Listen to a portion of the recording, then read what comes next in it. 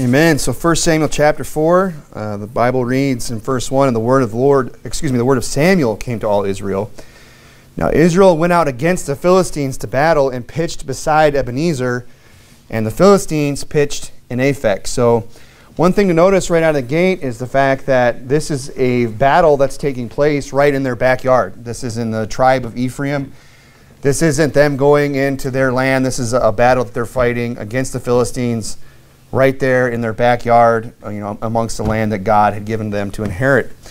And Israel also here we see is going to war of their own accord. You don't read anywhere where the Lord tells them to go fight this battle or says to go out against the Philistines. That's not to say it didn't happen, but it's not explicitly there in Scripture. The Lord doesn't seem to sanction this war.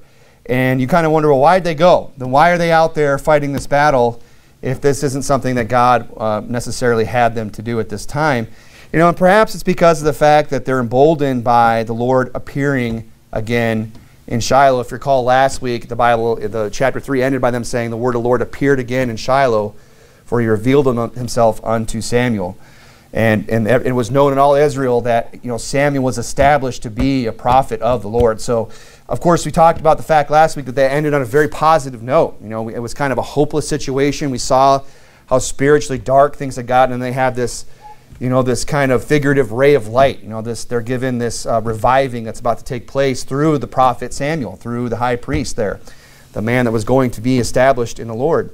So maybe that's probably why they're maybe a little bit more emboldened to go out and fight the Philistines and start to try to, you know, deliver themselves from the oppressor and their land. Uh, because, you know, it does say there in verse 1 the word of Samuel came to all Israel, right? Now, I don't know if those words that came from Samuel were necessarily included the instructions to rise up and go and fight the Philistines. I don't think that's what was being said, but the word of God was being preached. That's being uh, the point. Now, it says here in verse 2 it says, And the Philistines put themselves in array against Israel. When they had joined battle, Israel was smitten before the Philistines. So they're losing this fight. You know, and typically when God is fighting for you, you win, right? And of course, we could think of other instances in Scripture where God did tell them to go fight, like we think about in the end of Judges, where God sent Israel. Uh, they came up against the tribe of Benjamin to deliver, had told them to deliver them, the sons of Belial, the Sodomites, to them, and they refused. And they, you know, civil war broke out. And if you recall in that story, Israel lost, you know, a couple times. I think it was the third time they finally went back and God was with them and, and, and helped them win that fight. And there's other instances where we saw Israel lose. But I believe generally speaking, if God's fighting for you, you win. You know, so the fact that they're losing this battle should give them pause, should make them stop and think, well, what's going on here? And uh, that's what it kind of, actually, what takes place here in verse 3 well, let's continue on. It says they were smitten verse, uh, in verse 2 before the Philistines, and they slew of the army in the field about 4,000 men. And when the people were come into the camp, the elders of Israel said, Wherefore hath the Lord smitten us today before the Philistines? So it's kind of a, a funny question that's asked there. You know, we, we read this person, they, they come in, and the elders say, you know, why, why, why were we smitten uh, today before the Philistines? Why, you know, why has the Lord smitten us? You know, why is it that he wasn't on our side? Why didn't God deliver us? And you read, I read that and I had to think to myself, like, really? you have to ask that? Do you, do you not understand why God's not on your side? And they're not, they're having a hard time coming to terms with the fact that God is judging their country. Okay? And this is something that we as individuals and nations as a whole need to accept is that God judges and that when he judges to not sit there and scratch your head and wonder why. You know, God doesn't just indiscriminately judge a nation. And Israel failed, you know, the reason why they're being judged here is because they failed to follow through on God's commandments that were given to them, uh, you know, to destroy, specifically to go in and destroy the Canaanites. If you would, keep something there, go back to Judges chapter 2.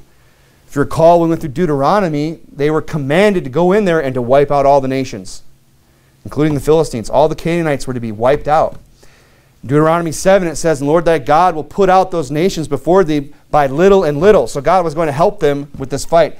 That thou mayest not consume them at once, lest the beast of the field increase upon thee. But the Lord thy God shall deliver them unto thee, and shall destroy them with a mighty destruction until they be destroyed. So God was even going to help them go in there and destroy these people. It said in Joshua 17, Yet the children of Manasseh could not drive out the inhabitants of those cities, but the Canaanites would dwell in that land. Yet it came to pass when the children of Israel were waxen strong that they put the Canaanites to tribute, but did not utterly drive them out. Now, where they were told explicitly to drive them out. In fact, God said, I'll even help you do it. He said, You go in there, and obey me, I'll drive them out little by little, and you'll take over this land completely, that you'll leave none of them. But what happened when they got in there? What happened when they began to wax and wax strong? When they started to take over that land and get established there? They, they put them to tribute. They said, Well, we're more interested in their money. They did not utterly drive them out. So they fell short on their, their part of the bargain, didn't they? Did they? They did not follow through on God's commandment to destroy the Philistines.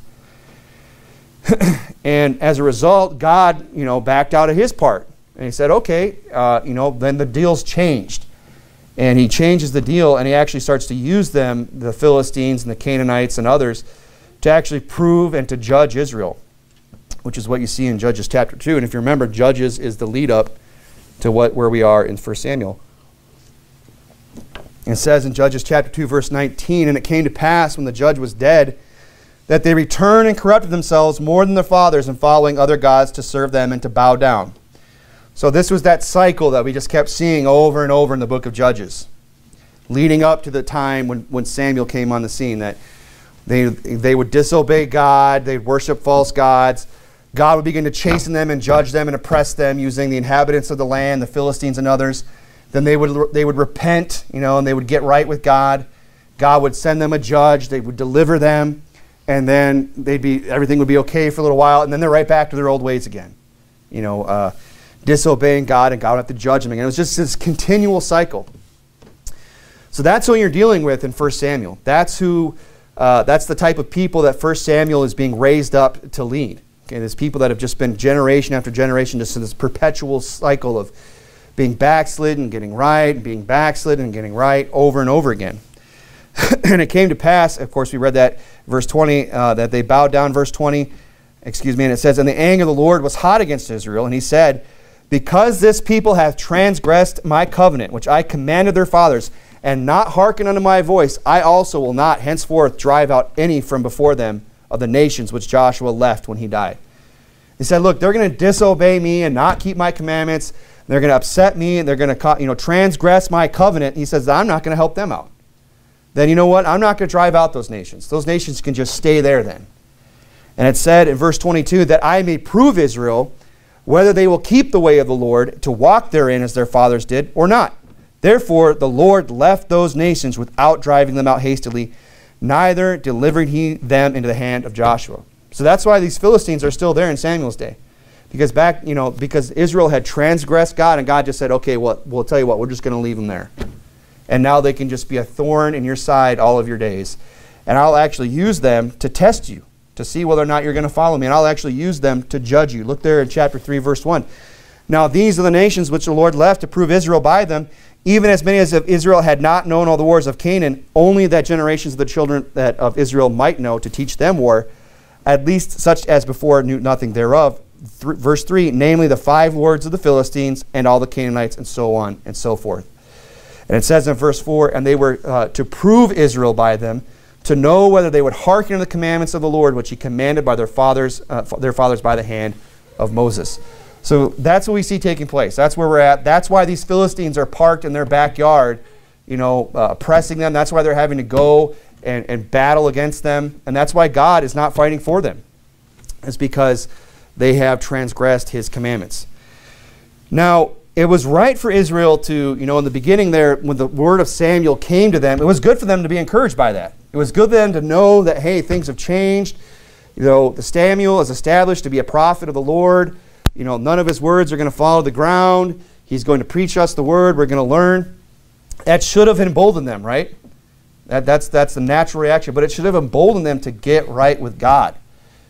Not to just like, hey, God's on, just assume, oh, God must be on our side. Now we got a prophet. Now we got a preacher. Now we got a priest. Now it's time for us to just go out and take over the rest of the land and, and kick these Philistines out once and for all. What it should have emboldened them is to get right with God. Maybe stop and take inventory where they're at spiritually and maybe do some repenting Maybe do you know? Maybe say, hey, you know, we're sorry, God, and, and, and maybe try to seek the Lord rather than just go fight some war. And now, if you would, uh, go back to 1 Samuel, but go to, over to 1 Samuel chapter 7. 1 Samuel chapter 7. Because in 1, Tam, 1 uh, Samuel chapter 7, you know, some time has elapsed, okay, from, from chapter 4. And it says in verse 1 And the men of uh, Kirjath Jearim came and fetched, uh, fetched up the ark of the Lord and brought it into the house of Abinadab in the hill and sanctified Eleazar. Of course, we know from what we just read that they, they took the, the ark of the Lord out, the Philistines took it, and then so on. And they, then they, they tried to send it back. And it was this, it, we'll see in upcoming chap, uh, chapters. But at this point in the story, you know, Israel is finally getting the ark back. And it came to pass while the ark abode in Kirjath Jearim that it was the time uh, that the time was long, for it was 20 years. So a lot of time has gone by. And all the house of Israel lamented after the Lord. Now that's that's the right attitude. There should have been some lamenting. I mean, you have to again remember where is Israel at at this point in, in 1 Samuel chapter 3. This is just we're, we're seeing just you know perpetual generations of just getting right, backsliding, getting right, backsliding. God's upset with them. They have not they have transgressed his covenant and God, the, the, the anger of the Lord has waxen hot against them. And just because God's beginning to give them a little light, you know, doesn't mean necessarily that He's ready to just, you know, deliver them from all these oppressors. Maybe He's looking for a different reaction. And the Bible says the goodness of God leadeth thee to what? To repentance. The goodness of God, it doesn't say leadeth thee to these, these great victories. Now we know God, if, if God before us, none can be against us, right? Who, who then can be against us? But you know, we have, it's more important to be right with God than anything. It's more important to be right with God and then just, you know, you have to make sure of that though. You can't just assume, well, I must be right with God because, you know, there's a preacher. Because, uh, because Samuel's here. You know, now we must, well, God must be blessing. It must mean everything's good to go. You know, we have to make sure that, that we're right with God, that nations are right with God. And how do they do that? You know, well, maybe, maybe they should have stopped and looked back and said, boy, we've come from a long line of backsliders boy, we've really burned God for a long time now. And maybe, maybe God's giving us a little reviving. Maybe God's giving, a little, uh, giving us a little light for us to just humble ourselves and just get right with God. And then we'll talk about the Philistines. And then maybe we'll see about delivering ourselves from these oppressors. and it came to pass, it says there, uh, we'll go to verse 3. You know, it says that they had lamented after the Lord. And Samuel spake unto all the house of Israel, saying, if ye do return to the Lord with all your hearts, then put away the strange gods and Ashtaroth from among you. So this is again shows us more of what these people were like. Samuel, you know, he's been there for over 20 years and he still has to stop and tell them, why don't you put away the strange gods? Why don't you get the sin out of your life? Why don't you get, uh, you know, these strange gods out of your life? Put away these strange gods from among you if you do return on the Lord with all your hearts. And that was the reaction they should have had at the very beginning when they first understood that Samuel had been established to be a prophet of the Lord, that's when they. They said, Well, we've got a chance here for God to do something with us, and, and maybe it's time for us to just get right with God, take inventory spiritually, get the sin out, put away the strange gods, and just get right with God. Instead of just, you know, being presumptuous, say, oh, well, we got the preacher now, let's just run out there and, all and God's for us. Must, obviously, God's not upset with us.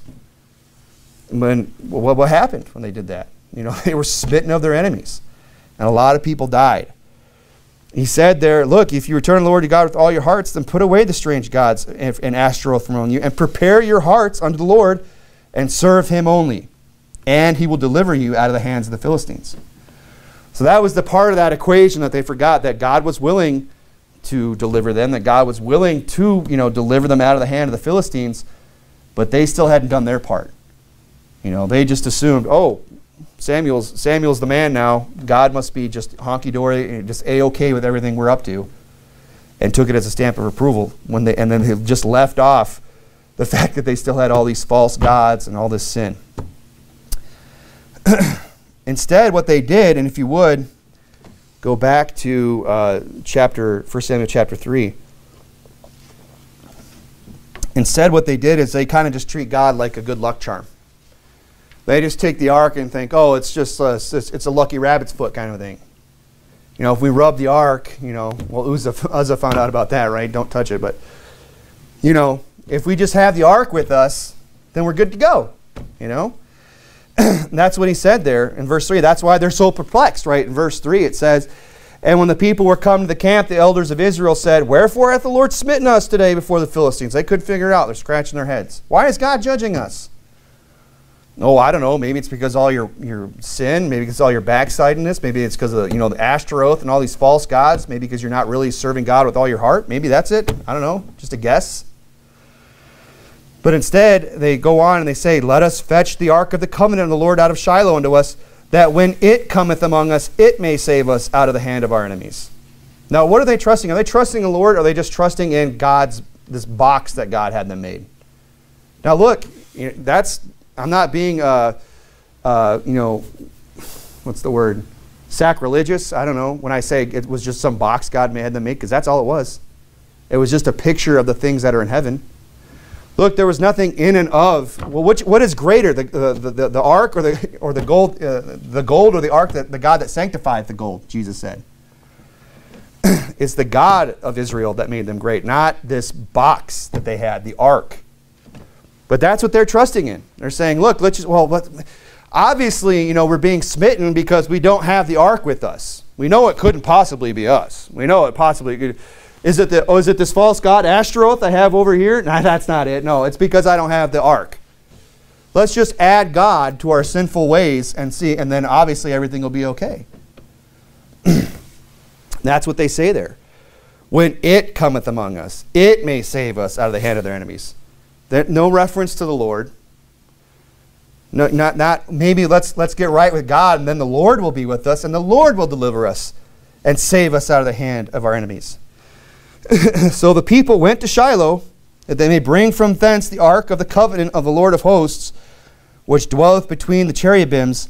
And the two sons of Eli, Hophni, and Phinehas were with the ark of the covenant of God. And when the ark of the covenant of the Lord came into the camp, all Israel shouted with a great shout, so that the earth rang again. So they're real excited about what's going on. You know, they're real excited about the fact they got the ark with them now. and they're just convinced that this is it. This was the problem. We just didn't have the ark with us. You know, they didn't have their good luck charm with them to, to, to see them through this battle. I mean, do you see how they're treating this thing? Like, like there's something in and of the ark itself that's going to save them. No. It's, it's the ark of the Lord that dwelleth between the cherubims. I mean, it's, it, he's the one that matters. and uh, they get all excited and they, they shout with a great shout, so the earth rang. You know, so, you know, how can we apply that to today? And if you would, go over to Numbers chapter 35. Numbers chapter 35. You know, we as a nation are kind of in a similar situation. I mean, we're a nation that has uh, known the Lord. You know, we've had at least, maybe not necessarily independent fundamental Baptist heritage, but we definitely have a very Christian heritage in this nation. There's no denying that. That our founders and the people that came over here, the early settlers, and the people that, you know, first uh, grew this nation into what it is, were godly, God-fearing people by and large. You know, even if even the unsaved, even those that didn't understand the truth of the gospel were still, you know, respected the, the Word of God, tried to live by the Word of God, so on and so forth. We have a lot of Christian heritage in this nation, don't we? Kind of like the children of Israel. I mean, they were a people that knew the Lord, that knew of the God of Israel, that were familiar with His ways and what was expected. But they got away from God, much like our nation today. Our nation today has gotten away from the Lord. And look, I don't think I have to sit here and make an argument for that. I think everybody in this room gets that. I mean, do I really have to go on and on to try and convince you of that this night? Uh, because here's the thing I mean, we don't have to look very far to see that. When God's been kicked out of every public uh, square in this country, where He's not welcome in the schools, He's not welcome in the courts, He's not welcome in our government, uh, people that, you know, the, the, the, Christians in this nation are mocked and ridiculed and looked down upon and scoffed at. There's no respect for the Bible. You know, they used to, you know, it, it, you know sometimes you go out sowing, you knock on someone's door, and they're at least, they, they don't want to hear it, but they're, they're polite, and you can appreciate that. But then more and more you start running into people who just want to laugh at you and, oh, just some Bible thumper. And just start calling your names and whatever. You know, it's, duck, it's water off a duck's back. It doesn't really bother me. I just, I feel sorry for that person but it shows you where we're get, going as a nation, where there's no respect for the things of God. I mean, do we have to start talking about the culture, all the ungodliness that's in the movies and the music and all forms of entertainment that are out there, just how wicked this nation has become as a whole? I'm telling you, this, this, wish, this nation is wicked tonight, folks. We live in the midst of an adulterous and perverse nation, a crooked generation. That's what we're living in right now. It's wicked. And you know what? There might have been a time when we knew the Lord where this nation tried to honor the things of God, but that's, that's in our past. And I'll say this it's never coming back. It's never going to come back. That's my belief. You can disagree with me, but that's my opinion. There's no bringing this country back from the edge.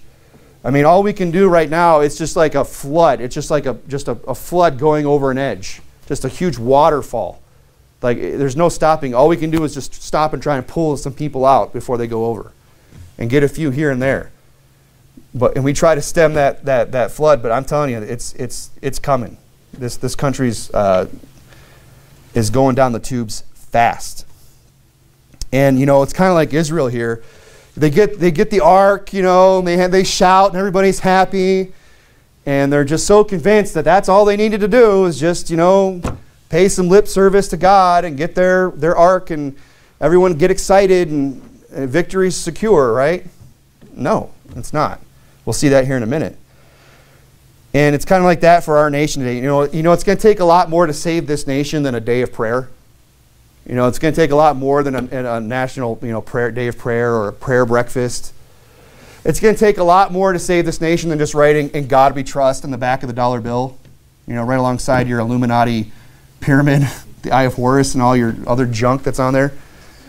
It's going to take a lot more than that. Than you know, some big parade where we just pay lip service to God, like they're doing here.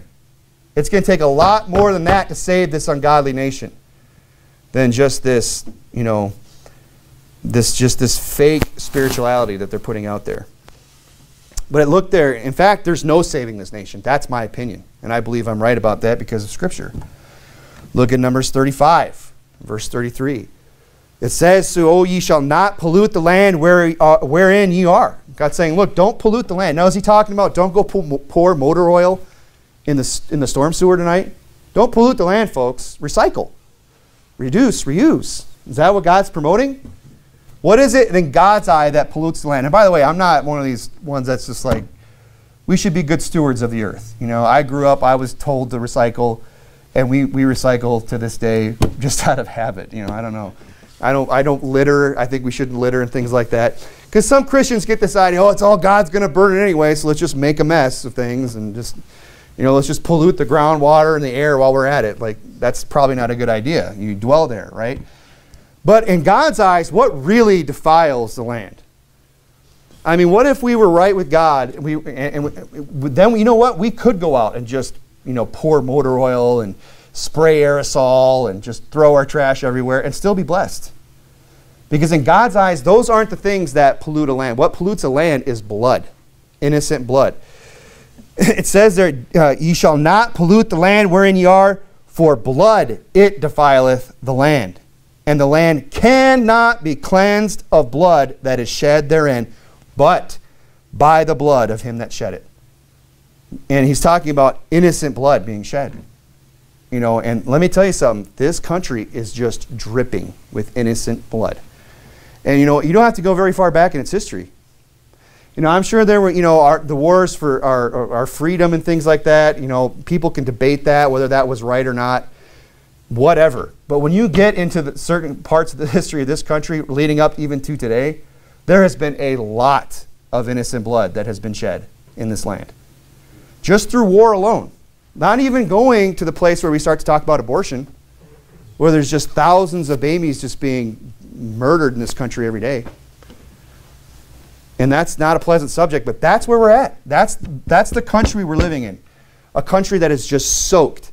The land is just soaked in innocent blood. You know, God noticed one, God noticed just one person back being dead. He heard the, the cry of one person's blood back in, in, in, uh, in Adam's day, right? Cain and Abel. When Cain slew Abel, he says, Your brother's blood, blood crieth to me from the ground. That was just one guy. Imagine all the cries that God is hearing coming out of the ground in this country today. all the human waste, you know, uh, dumpsters full of aborted fetuses that are just crying out today. And you think God's just going to ignore that? And look, you can't just say, oh, we're sorry. Well, you know, and even if we stop, even if we stopped, all the abortion just ended tomorrow, just no more. And all the wars and all the other innocent blood, that uh, all the other ways that shed, just stop tomorrow, it still wouldn't be enough. Because God's not just going to be like, all right, well, you knocked it off, that's good. No, you still have to make atonement for all that. Isn't that not what it says? It says the land cannot be cleansed of the blood that is shed, but by the blood of him that shed it. It's eye for an eye, it's tooth for a tooth. You know, they, they, and here's the thing we're, we're not going to be shedding that blood. We're going to shed all the innocent blood as a nation, but we're never going to shed the guilty that have shed that blood. You know, you see what I'm saying? We're never going to cleanse it because we're never going to shed the blood that needs to be shed in this country. So, so by that, that, having said that, that's what I can say with confidence: we're doomed. we are. We're doomed in this country. You know, are you glad you came to church tonight? Let me just encourage you tonight that we're doomed. Okay, but we are, as a country. Okay. That's not to say that we as Christians can't live, still live quiet, peaceable, godly lives and do great works for God in the process. That's why Jesus told us to shine as lights, to, to, to, to shine as lights in, in the midst of a perverse and crooked generation. To be a city set upon a hill that, that not put our light under a bushel. You know, it's kind of a cliche saying, but it's true. You know, the darker the world gets, the brighter we can shine. You know, and, and, and here's the thing when, as the judgment starts to come, and believe me, judgment's already coming to this nation. I mean, good light. Take a look at the things that are going on in this country with, you know, COVID-19 and the riots and the taxes. I'm just all these, it's already here. It's already coming out. That's not to say that, you know, we can't still do great works for God. And as judgment comes, we can, it's just an opportunity for us to be even, shine even brighter in the darkness. That's what I'm saying tonight. So don't lose hope. Don't be despondent. But you know what? At the same time, don't be so foolish as these people back in 1 Samuel. To think that, you know, well, we got the word of God and we're just good to go. Nothing's going to harm us. Let me just put this on the dash of my car and I won't get an accident. You know, God's not a good luck charm where you just put in your, your two cents and get something out of it. You know, God wants obedience. God wants to be, uh, his commandments to be obeyed. That's how you get the blessing of God. so it's going to take a lot more to save them here than just an ark. And it's going to take a lot more for this nation. In fact, I think we're, we're, we're even beyond Israel. The, at least Israel had hope at this point in the story. At least there was a glimmer of hope for them. go over to Psalms 19 and say, Well, I don't know about that. I don't know about Brother Corbin. I think you're just kind of going off on a. You just sound like you're on another, you know, libertarian rant or something you know, and I say that not because I'm libertarian, but because, you know, just sounded good in the moment, I guess. I don't know. You're just blowing off some steam, Brother Corbin. You're just some preacher up there rattling his cage tonight. God's blessing America. Oh, really? How many trillions of dollars are we in debt? Does anyone even know? Probably somebody does. I don't know. Does it matter? We're so in debt, it's, it's crazy. And there's no coming back from it. The Bible saying you say no, no. God's gonna God bless America. You know God's gonna bless us, and, and why? Be, because we're America. Just because we're America. Look, this mentality's out there, folks. that somehow you know we're we're you know American exceptionalism. That somehow we're just you know we you know this doesn't we love this book, but it doesn't really apply to us. We love God, but He's just going to give us a big pass. No, the Bible says all nations, all nations, all nations what, what part of all don't we understand tonight? All nations before him are as nothing. You say, well, that's pretty degrading. Well, it goes on in Isaiah and he says, they are counted to him less than nothing. I mean, they're in the negative. God looks down and says, America, pff, less than nothing. Look at Psalms 9, 9 Psalms uh, 9, verse 17. It says in Psalm 9, verse 17, the wicked shall be turned into hell, and all nations that forget God. Has this, and I'm telling you, this nation has forgotten God tonight. Um, I mean, you would say that about Israel, wouldn't you? Oh, sure, they had the ark. They had the ark with them, but that's all they had. They didn't have the God who told them to build that ark. They didn't have the God whom that ark represented. That's all they had. Just some box with some gold on it. That's it. they had forgotten the God of Israel. And I'm telling you, we as a nation have forgotten the God of Israel. People don't even want to retain God in their knowledge, God in their knowledge in this country anymore. They want to forget about this book. They want to forget that God even exists. and you know what? It says all nations that forget God are going to be turned into hell. For the needy shall not always be forgotten, and the expectation of the poor shall not perish. See, why would, good, why would God do that? So that the poor and the needy would not just con- be continually suffering forever? Because that's what nations do. Our nation is an, is an oppressive nation. You, know, it is. It oppresses its own people. I mean, taxes. I mean, do I, hello? I feel a little oppressed when somebody's just taking money out of my pocket before, without even asking me, and then telling me, "Oh, it's voluntary." oh, you volunteered to do this? No, I didn't. Yes, you did. you volunteered. Didn't you know that? Oh, I forgot how a voluntary system works. You know, where if I don't pay taxes, I end up in a federal prison. I, yeah, let me volunteer, please. I step right forward for that. That's oppression. When people are just taking money from you and spending it on whatever.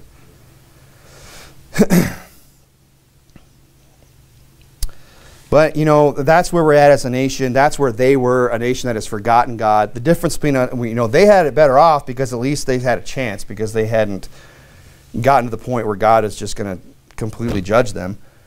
But look there in verse 6, it says, And when the Philistines heard the noise of the shout, we're back in 1 Samuel chapter 3, they said, What meaneth the noise of this great shout in the camp of the Hebrews? And they understood that the ark of the Lord was come unto the camp. And the Philistines were afraid, for they said, God is come unto the camp. And they said, Woe unto us, for there hath not been such a thing heretofore. Woe unto us, who shall deliver us out of the hand of these mighty gods? These are the gods that smote the Egyptians with all the plagues in the wilderness. Be strong and quit yourselves like men, O ye Philistines, that ye be not the servants unto that ye be not servants unto the Hebrews, as they have been to you. Quit yourselves like men and fight. So it's funny because it seems like the Philistines here they have more of a fear of God than the Hebrews do. I mean, he, the Hebrews are like, let's bring it into the into the camp. You know, let's get the ark.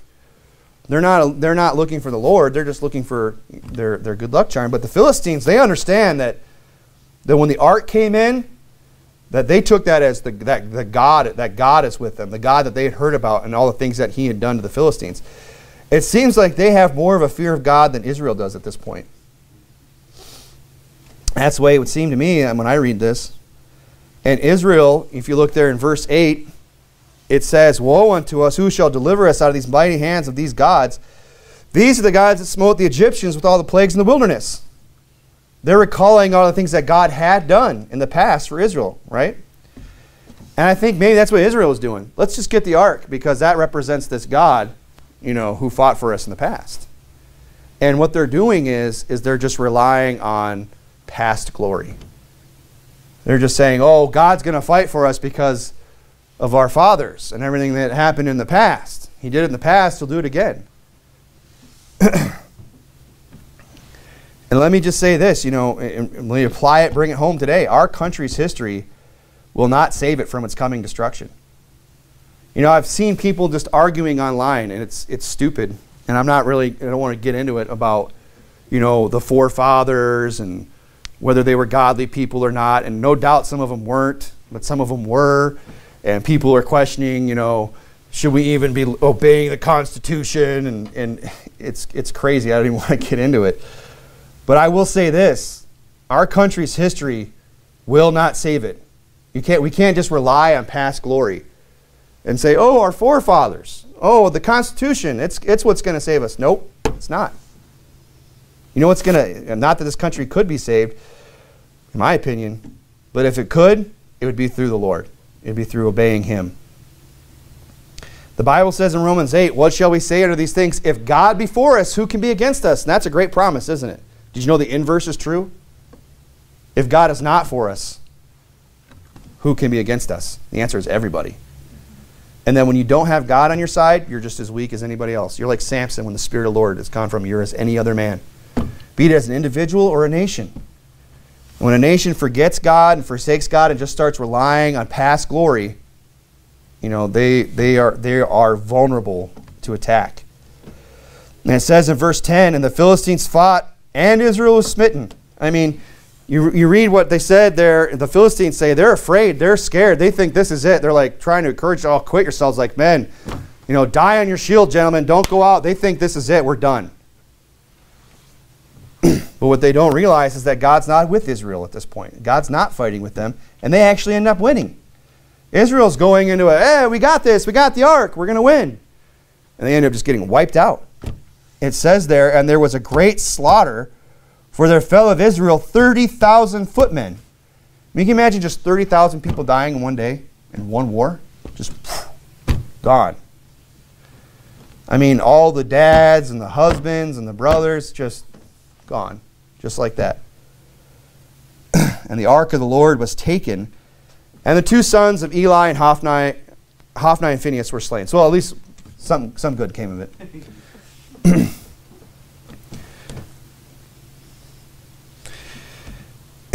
you know, and, and, the U.S., you know, our country today, I just keep thinking about our country as I was reading this. And you think about how uh, Israel here everything that they had done, you know, all their being backslidden and all of their ungodliness and, and you know, how, that's just the poor condition they were in spiritually, how they just left God. And, you know, God judged them for that, right? They had kindled God's wrath. And the Bible says in Psalms 2 Kiss the Son, lest he be angry and you perish from the way when his wrath is kindled but a little. You know, when God just gets the least bit of upset with, with a country, I mean, he's saying, look, you better, you better kiss and make up you better get right. You better kiss the Son. You better put your trust in Him. So I read about Israel, and you know they just suffered this great loss. But then I think about our country, and I think about everything our country has done to kindle God's wrath. And I wonder, have we kindled God's wrath just a little, or have we kindled God's wrath maybe a little bit more? Maybe we've turned the stove up a little bit, you know, beyond just simmer.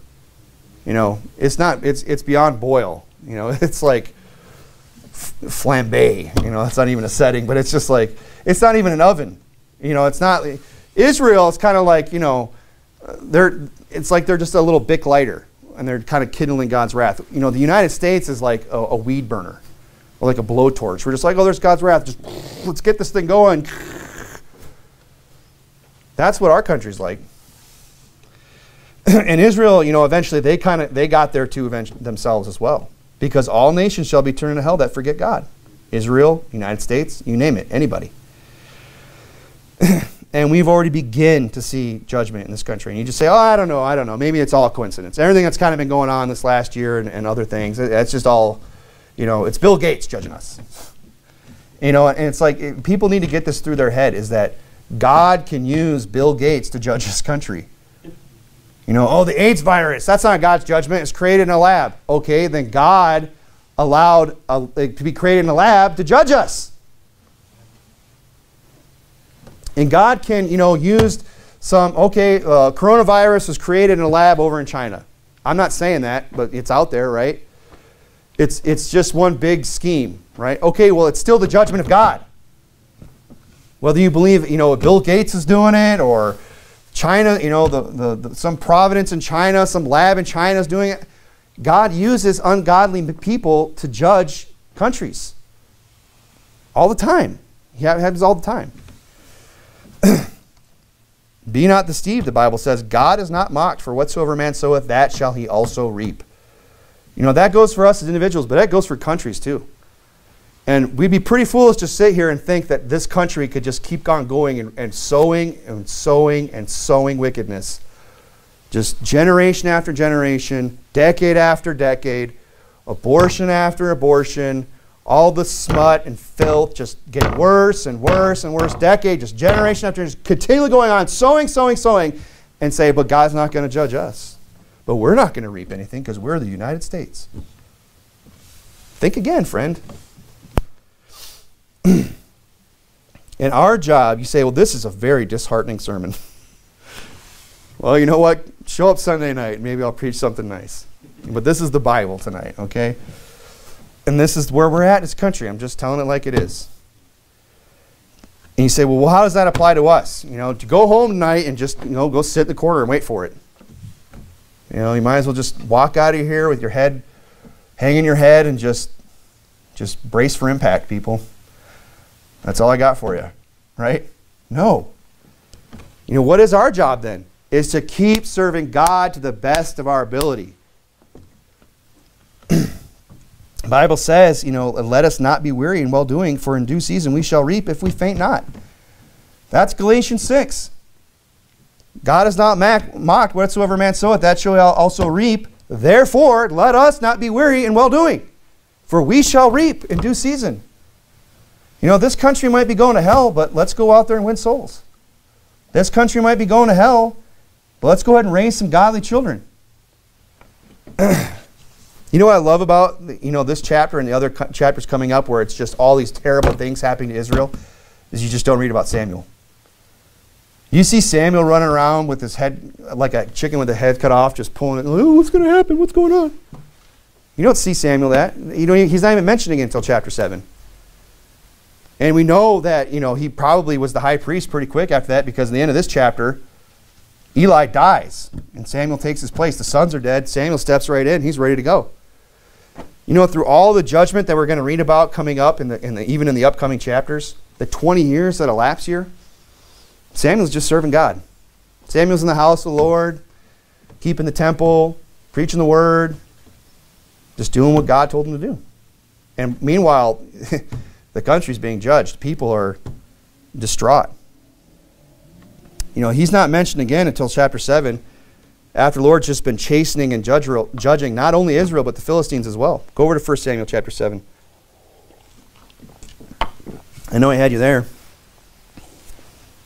He said, or remind us again in what he said in verse 3 Samuel spake and said unto the all the house of Israel, If you do return to the Lord with all your hearts, and put away the strange gods and Ashtaroth from among you, and prepare your hearts and serve him only. So this whole time, and God's just judging them, they're suffering, the ark is taken, people are dying, 30,000 men are gone, they don't know what to do, they're distraught, they're lamenting. And when they finally come to their senses where they're ready to hear, where they're ready to listen to what the man of God has to say, then he tells them in chapter 7 okay, well, now that you're done running around, now that you're sick and tired of, of being chastened by God, and you want to return him all your hearts, then you know what? Prepare your hearts and serve him only. Look, that's, that's us in this story. That's us tonight. We're the Samuels in this story right now, in this country. And God's going to judge this country and He's going to punish this country and mark it down. It's going to happen. And when He does, our job is to be there and to be, able, and to be ready to tell people what they need to do when they're finally ready to listen. You know, I, I honestly, I, I said this uh, over, I was saying this before this whole COVID 19 thing happened. I was saying this. I said it audibly out loud to people. I can't remember who. Out soul winning. I'd be in some rich neighborhood some well-to-do neighborhood and people just, eh. You know, we were talking about it today. They have that real nice way of being a jerk. Oh, thanks. Thanks for stopping by. Have a great day. So insincere. And they're just not interested. They never want to hear it. They're always busy, whatever. And I remember saying, this country needs an economic downturn. You know, Pastor Anderson came down here and preached a while back. You know, God's wrath is justified. And that in that sermon, if you remember, he was talking about the fact that this country could use some judgment. And I agree with that. Because you know what? When God really starts to bring the hammer down and starts to judge this country where people are going to be really at their wits' end, you know what they'll start to do? They'll start to listen. And then we'll say, oh, you're ready to listen now. We'll be like Samuel in chapter 7. Well, if you're really, really ready to turn to the Lord with all your heart, you need to forget these false gods and serve God only. Then they'll be, really be open to the gospel. You watch how quickly people's attitudes change in some of these neighborhoods when things really start to get rough. You know, that's just a general philosophy or, or way to live your Christian life too. is just to just be ready to give uh, to, uh, you know to give an answer to every man that asketh of the hope that is in you, and wait for God to work in people's lives. Maybe not even as a nation as a whole, You know, maybe there's people in our lives that just won't listen to us. They just they don't want to hear it. And they might even mock it and think it's stupid and and ridicule us. But if we just stay faithful to God, like Samuel in chapter 3 and chapter 4 and chapter 5 and chapter 6, and let them go through in their lives, let them go through their chapter 4 and their chapter 5 and their chapter 6, let them go through the judgment of God and everything else that's going to happen in their life. Let God chasten them and work them over for a while. Our job is just to be there, ready to give them an answer in chapter 7. You know, maybe there's some relative or some friend that doesn't want to hear it from you. Give it time. Stay faithful like Samuel and give it time. And I'm telling you, down the road, it just might be that they'll say, okay, I've had enough of this. What was that you were telling me that one time? Let's go talk to, you know, so and so. I know he's a Christian. He knows about the Bible. He knows what's going on. Let's go talk to him and see what's, what this is about. And then they'll be ready to hear. That's what I love about the story is that you have all these bad things happening, but you have Samuel who's just just sitting back going, all right, well, I'll just keep doing my thing. I'll just keep serving God, and eventually they'll come around. And when they do, I'll tell them exactly what it is they need to hear.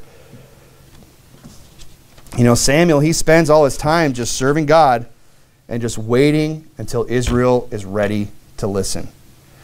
And the point of the sermon, you know, what I'm going tonight is, is is to not get discouraged by the, the, the message of judgment. Because, and, uh, but here's the thing I would be dishonest to get up here and say, oh, everything's fine. God's not going to judge us. Look, God's going to judge this country. And we're stuck in it. and we're going to be here for it.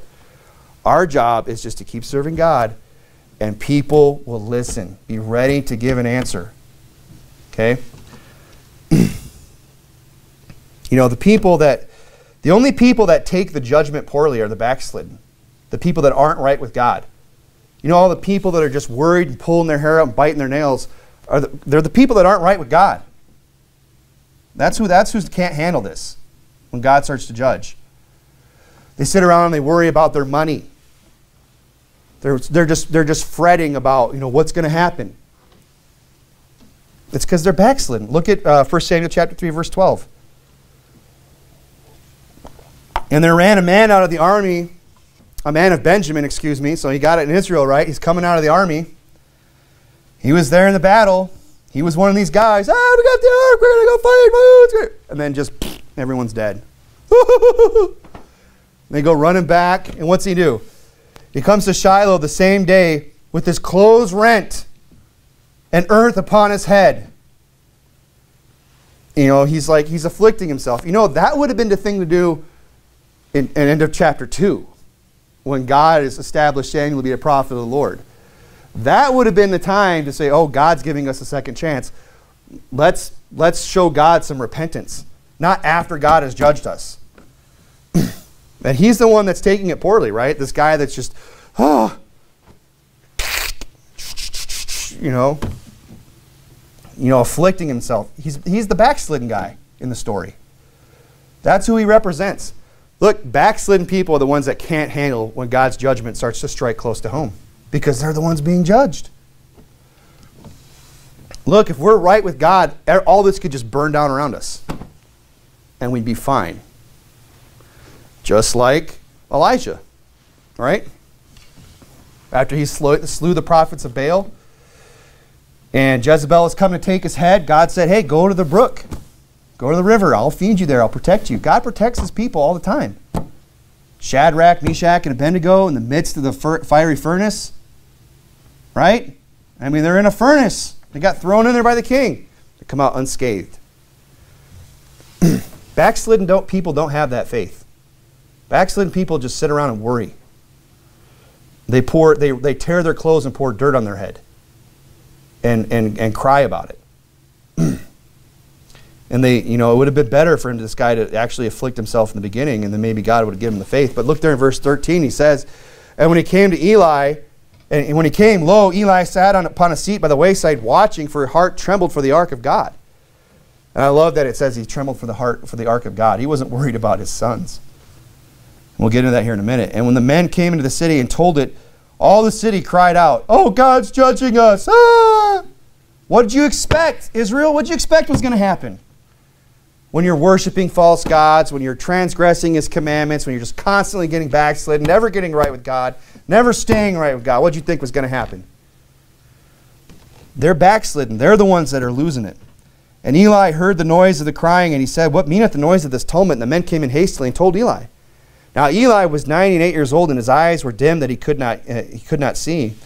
And the man said unto Eli, I am he that came out of the army, and I fled today out of the army. And he said, What is there done, my son? And the messenger answered and said, Israel has fled before the Philistines. And there hath been also a great slaughter among the people, and thy two sons, Hophni and Phinehas, are dead, and the ark of God is taken. So he just got a lot of bad news, right? It was just like one thing after. Another. I mean, bad things come in threes, they say, right? There's been a great slaughter, thy sons are dead, and the ark of God is taken.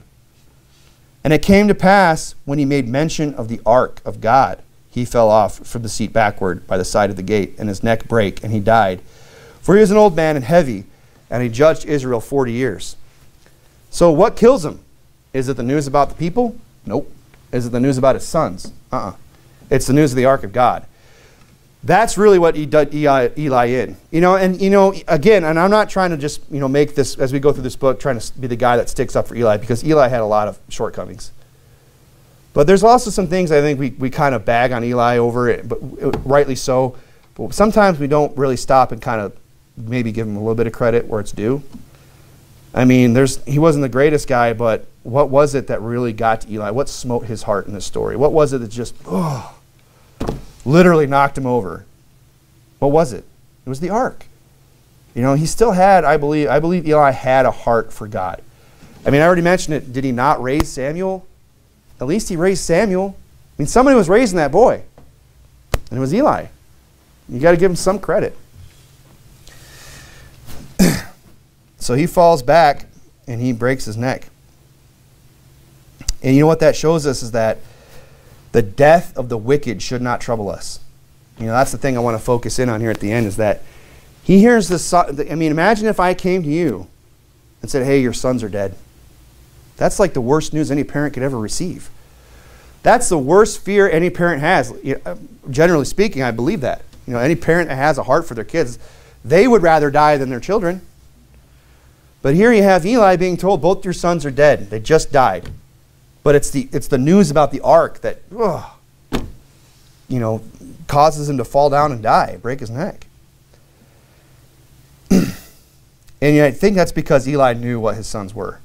Now, I'm sure it broke his heart that they were what they were and had become what they become, and so on and so forth. But the point I want to make here is that the death of the wicked should not trouble us. You don't see Eli going, Oh, my sons, and freaking out and dying because of that. I mean, I'm sure it wasn't, he didn't just take it, it probably still bothered him. But look, the death of the wicked should not trouble us. The Bible says, when it goeth well, go over to Psalms 58. Psalms 58, it says in Proverbs 11, when it goeth well with the righteous, the city rejoiceth. But when the wicked perish, there is shouting. When the wicked perish, there is shouting. Not shouting like, like wailing, but shouting like shouting for joy. Look, we should shout for joy when the wicked perish. We should. We should shout for it, that the wicked will cease from oppressing, that wickedness is being done away. Look, everyone that, that is punished by God deserves it.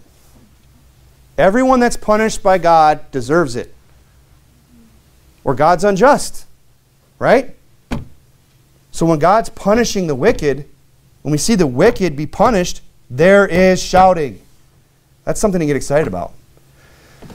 Look, if God's going to come judge this wicked nation, I'm going to shout about it. It's going to put a smile on my face. I'm, gonna, I'm not going to sit there and, and, bemoan it and be all boo-hoo and, and go sulk in a corner. In fact, I, to some degree, I kind of want it. Come, Lord Jesus, let's get this thing going. Let's do it. Let's, let's take these proud people down a few notches and make them realize that they're but men, just like everybody else. And maybe they'll get saved. Maybe they'll actually listen to what we have to say.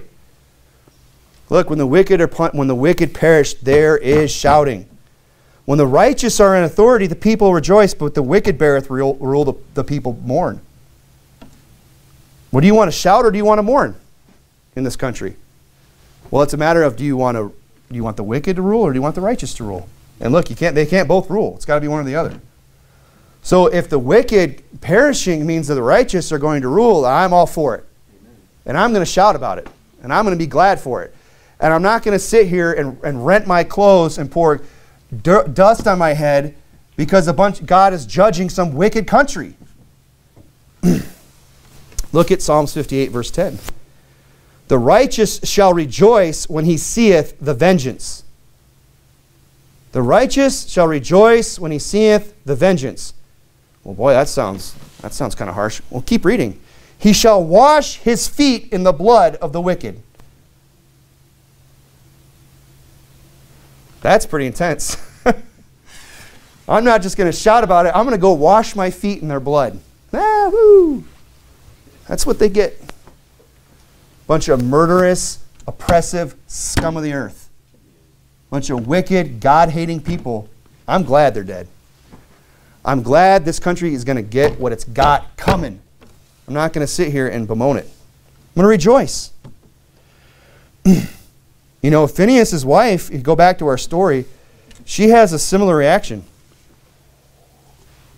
And she's married to this reprobate Phinehas, which is what exactly what he was, was a reprobate. and when he dies, she has a similar reaction as her father-in-law, Eli. It says in verse 19, and his daughter-in-law, Phinehas, wife, was with child near to be delivered.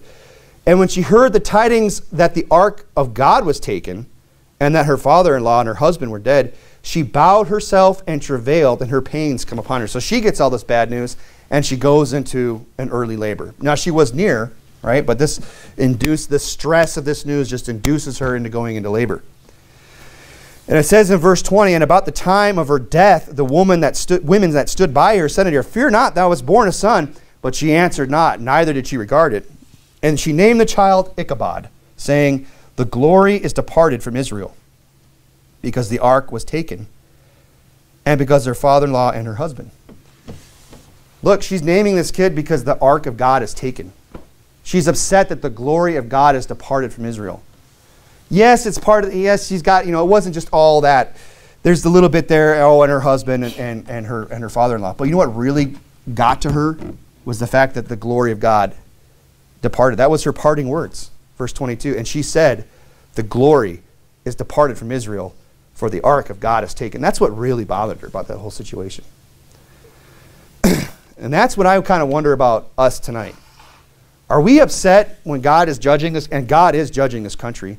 Are we upset about it? And when God really starts with this country, are we going to get upset with God? Are we going to just, are we going to sit back and just be like, oh no, you know, my money, or uh, uh, it's just so inconvenient, you know, and, and this and that and whatever, and just bemoan all the circumstances?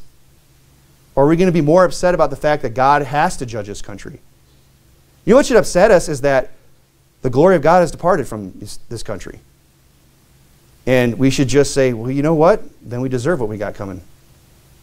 And if what we got coming means the wicked are going to perish, then I'm all for it. it's, you know, it's something we have to think about.